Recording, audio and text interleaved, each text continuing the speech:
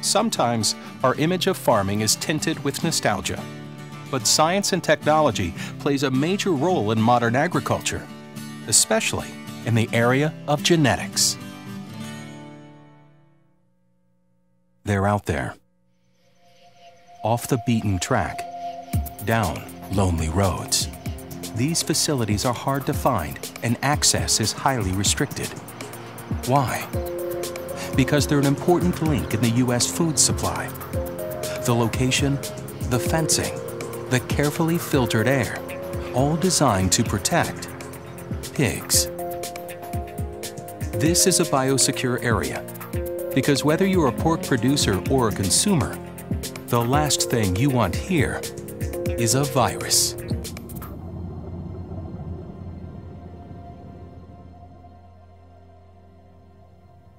Birchwood Genetics works with a major genetic company in the U.S. We house the boars, uh, feed, take care of them, harvest and process the semen, and then distribute it to the pork producers here in the Eastern Corn Belt. Birchwood supplies semen for many of the sows east of the Mississippi. That's why they're so focused on biosecurity. For instance, in this facility, you can see the perimeter fence that surrounds all the way around the buildings themselves. That not only is uh, a chain link fence above, but it goes three feet below to uh, uh, stop any rodents from digging and, and entering the facility.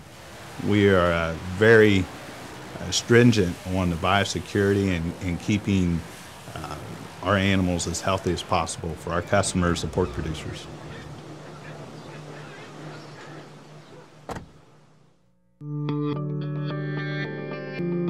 Want the fastest racehorse? The hardiest cattle?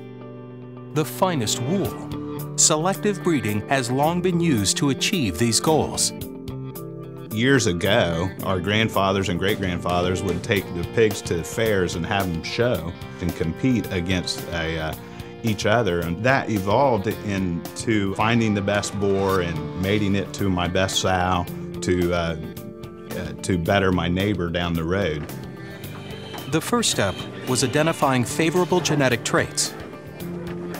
The next step was to spread those traits over as large a group as possible.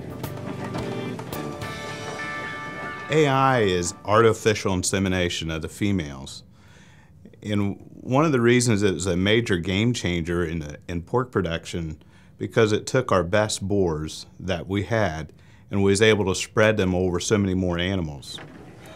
For instance, a natural boar in, in a natural mating circumstance, he would sire somewhere around 600 to 700 animals. With AI, that number increases by tenfold up to uh, six to 7,000. So the question all boars ask is how do I get picked for that team?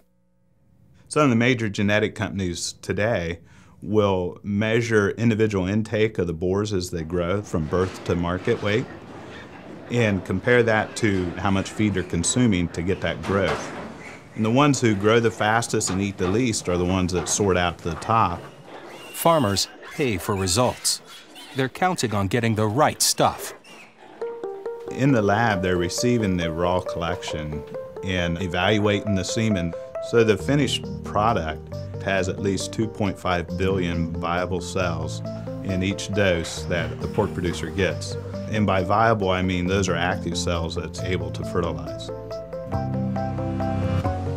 We make routes twice a week to most farms. As long as the farmer maintains the semen at a, consistent temperature of 62 degrees, uh, the shelf life of the semen is good for seven days. I am on contract to produce a specific genetic cross. I take pig A and cross it with pig B.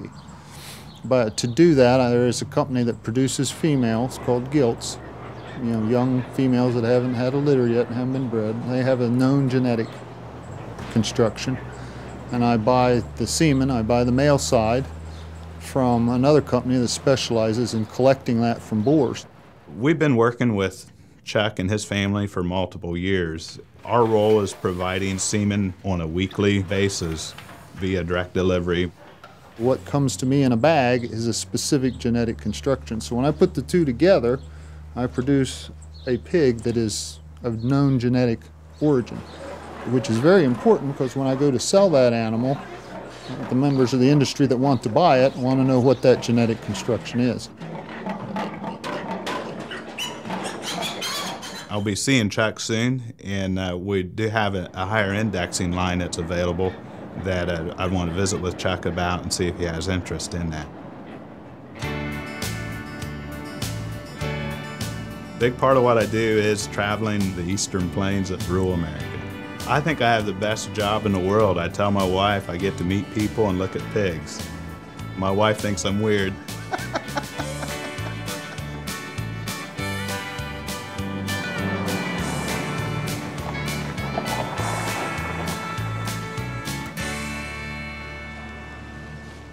many times with Chuck and other customers, uh, I will look at their sow performance records, and uh, one of the things that uh, I provide as a role is we'll, uh, we'll troubleshoot in areas of their sow performance productivity and find areas that, that can be improved in and often congratulate them in areas where they're excelling.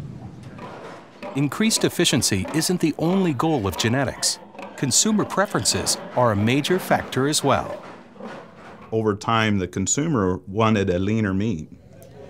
And was able to drastically, dramatically reduce the amount of fat involved in the meat, which made a healthier product for the consumer. Genetics can even allow Ohio farmers to tailor their products for the specific tastes of overseas consumers. One of my contracts is with uh, Indiana Packers out in Indiana. Indiana Packers is owned by Mitsubishi. Mitsubishi is obviously a Japanese company, so a lot of the product is ending up in the Japanese market. Some of the foreign markets want a different color of meat. Uh, they want some different uh, characteristics of the, uh, the product itself. And we know how to produce that form by developing the genetic lines that would uh, enhance those traits. Over the last 40 years, genetic science has helped farmers make impressive gains in efficiency. In the 1970s, the pigs were marketed around 220 pounds, taking over 800 pounds of feed to get them there.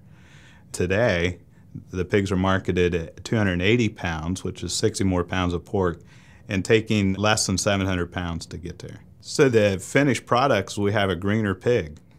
We're making more meat with less corn. It gives me a great sense of satisfaction to be able to find areas where they can improve and makes their bottom line better, makes them more productive, and they're able to pass their farm on into the next generation. I get a lot of appreciation and thanks from the pork producers, but you know what? They've never bought me a steak.